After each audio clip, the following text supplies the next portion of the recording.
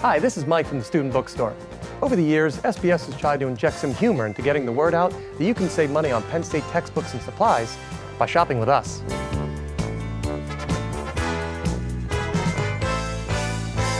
Yeah, well, sorry about that. This time I'm going to give it to you straight. Shoot from the hip.